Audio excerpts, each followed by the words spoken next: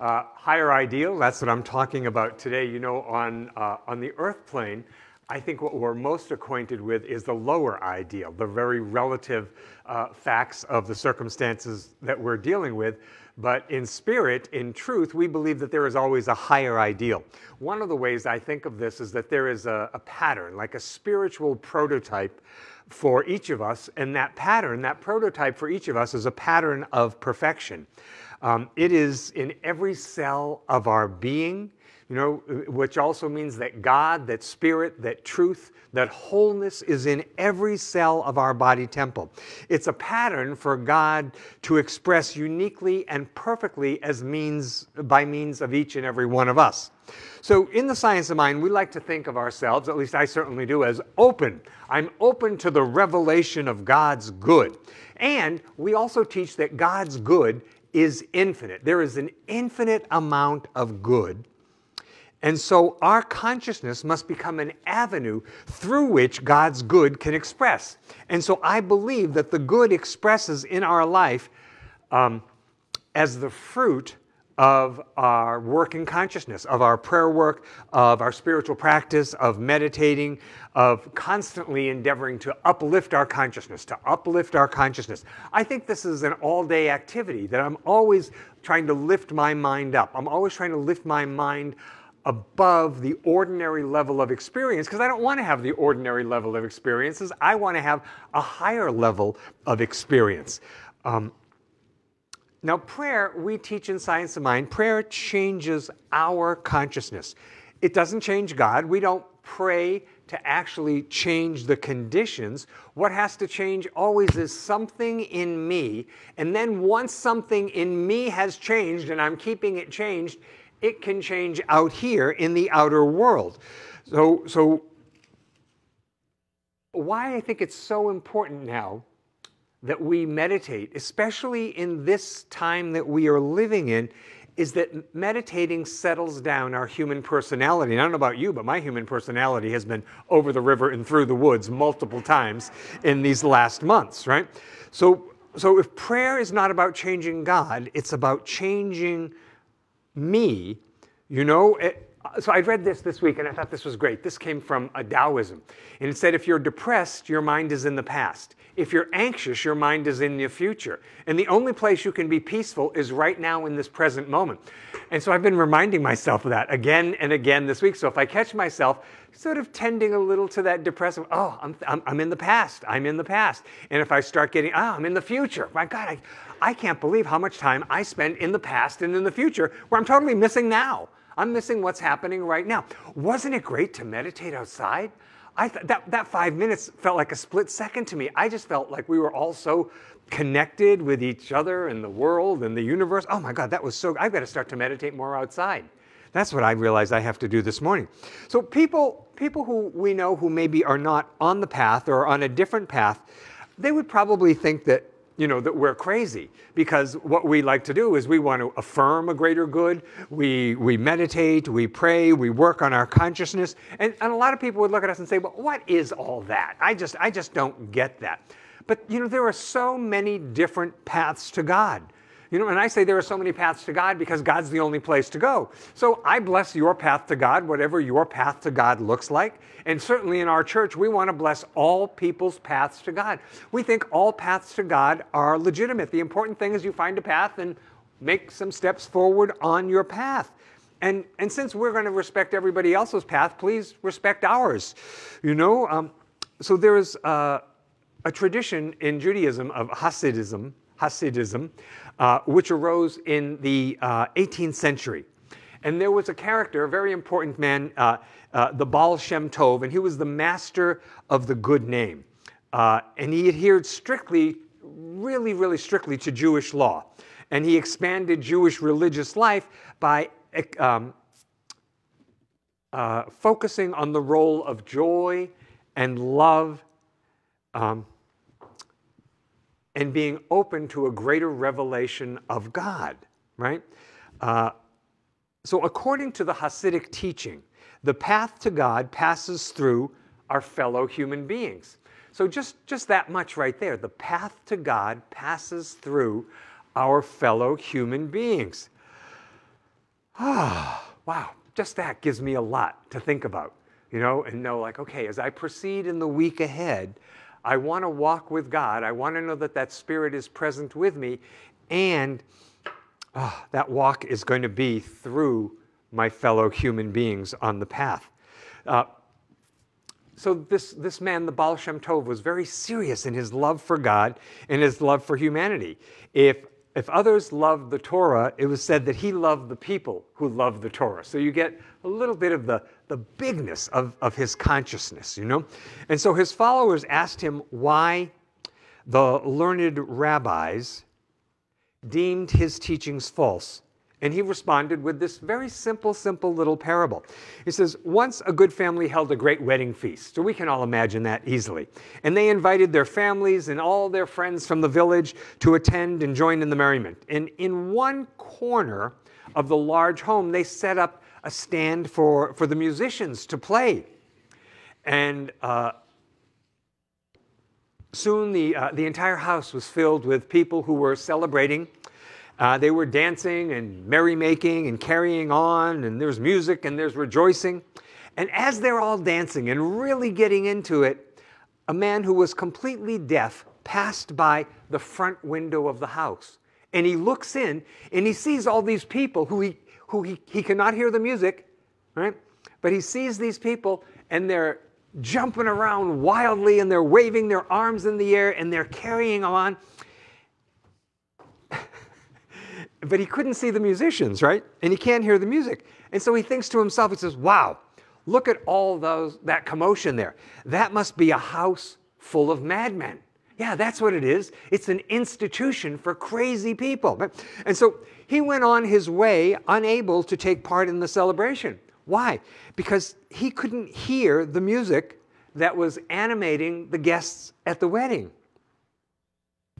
Now, I don't know what another person is listening to in life.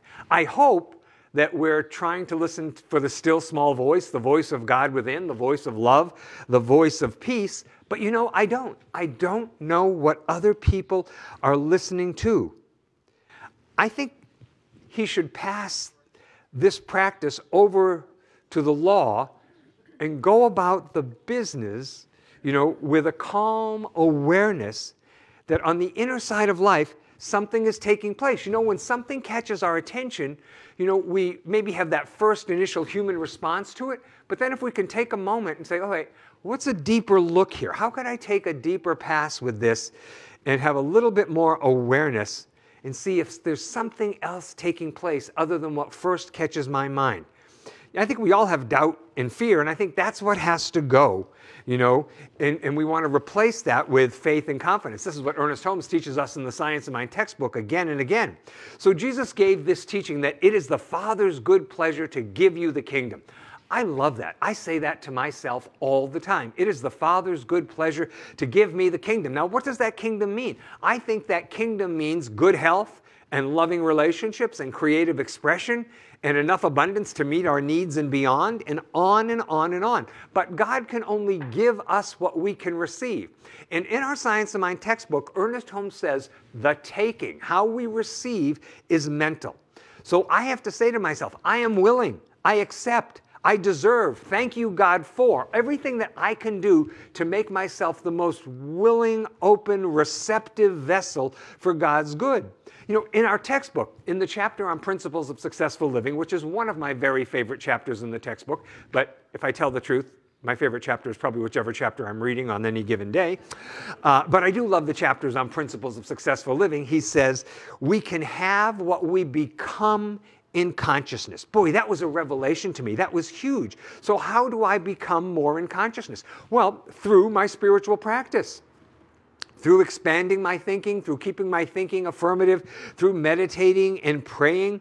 You know, what you say to yourself is the most important conversation you will ever participate in. Isn't that extraordinary? That what goes on in your head, that dialogue from the time you get up in the morning till the time you go to bed at night, that has more to do with your experience of life and shaping your experience and what you draw to you you know, so what you say to yourself is really important. What you think about yourself is the most important thought you will have.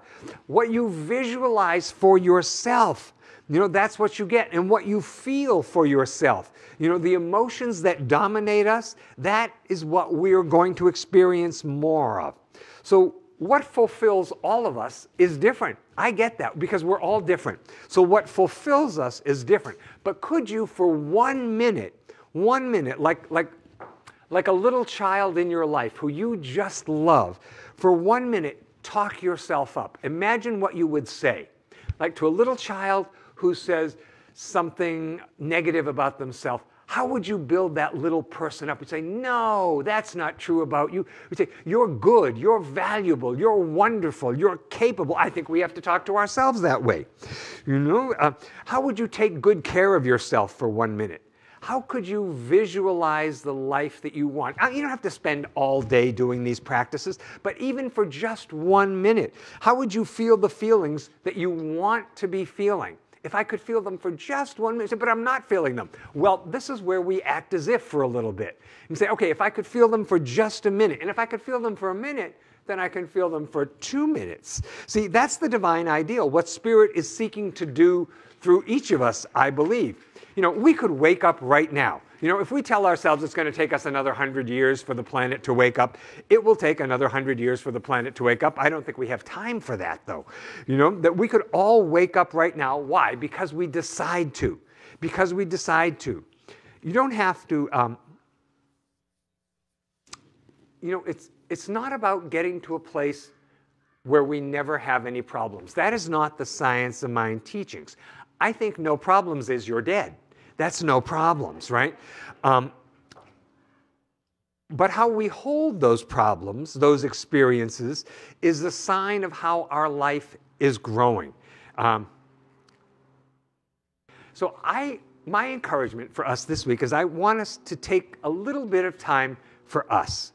Um, and you know what people have often said to me when I suggest this to people is they say, well, I can't till all my problems are solved. I have to get through all these things. But what I notice is there are always all these things. Have you noticed? you know, there's always a bunch of stuff that's got to be tended to. So I want you to take time for you.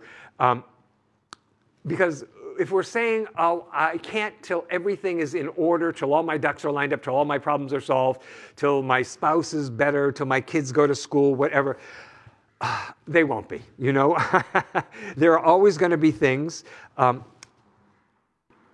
living a life that is always in flux, which we all are, creates opportunities. It creates projects, or as I like to call them, AFGOs, another fine growth opportunity. Um, maybe we could start with calling our problems something else, that we don't call them problems. It's just something I have to take care of. It's just a little piece of business. Maybe it's just a challenge. See, I think we're challenged to grow in life again and again and again. And I think to myself, don't we ever get to sit back and, you know, when I close my eyes and I become prayerful, what I hear is a resounding no. No, you don't get to sit back. You don't get to hang out. Not while we're here. You know, we are here for the growth. We are here for the good. You know, we can't control all that happens in our life. I'm so sorry to say that because for controlling people, that is really bad news. Um, but, uh, but we can control what it means to us. You know, we can control what's going on inside of us. We can control our response. Because as within, so without. So just like you would go to the gym, uh, perhaps to get in shape, uh, there is mental and spiritual conditioning that we do so that we are spiritually in shape for what lies ahead. You know, the quality of your life is from what you consistently say and visualize and feel for yourself. So I wonder where we are consistently. In our head or in our heart? You know? Where is our focus primarily? So there was a study done at UC Berkeley. I thought this was really, really interesting with chemically depressed people. Um, and it did not involve drugs. So what they would do is they would come in every day and they would have to stand in front of a mirror. Again, no drugs were involved. They would have to stand in front of a mirror for 20 minutes and smile. That's it. That's all they did. And what happened over time was their depression disappeared. I thought that was extraordinary. We need to put this out in the media right now because I know so many people who are struggling with depression on a daily basis right now. Uh, uh, so, what was happened So let's think about what happened there. What happened was they were breaking a pattern, right? And so much of what we do, good or bad, is a pattern. It, and I say all the time that our habits, our habit patterns create our destiny. So when we become aware of a pattern that is not good, what we have to do is we just have to substitute a different pattern for it. So if you keep doing the same thing over and over, we're going to keep getting what we've always gotten. We know that's insanity. We don't want to do that. But if we keep putting the same feelings into our life, that also means we're going to keep feeling the same way which for many of us does not really serve us. So we recognize, geez, that's not as good as it could be. I believe there's a higher ideal available for all of us, that we could all take our life from where it is right now and it could just go boom, up a little more. A little more peace, a little more freedom, a little more love. Would that be such a bad thing now for us, for everyone? I don't think so. Let's pray. So we turn our attention inward for a moment now, recognizing that right here, the place whereon we stand is holy ground because God is everywhere equally present. And I know for each and every one of us that we are one with this principle, power, and presence that we call God. God is the truth of our being, God that has no opposite, God that is all there is. And as we are all connected with God, I further know that we are all connected with each other on the unseen side of life. And so I speak this word for each and every one of us today that healing is taking place in our lives, spiritually, mentally, emotionally, physically.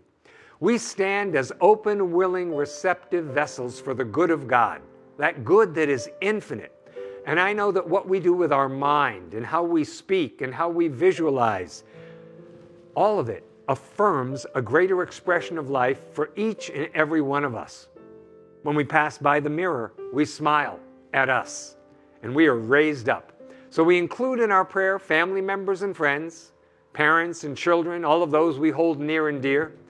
And we affirm that God's presence is right where they are. It surrounds them, it fills them, it uplifts them, it heals them. We bless our church and all churches everywhere, synagogues and temples and mosques and ashrams, all paths to God. I know we're blessed by being together, and we let our prayer today emanate out from us to touch all people everywhere in an uplifting, healing, loving manner. So, with a grateful heart, I give thanks that this is the truth. I release this word, and so it is. Together we all say, Amen.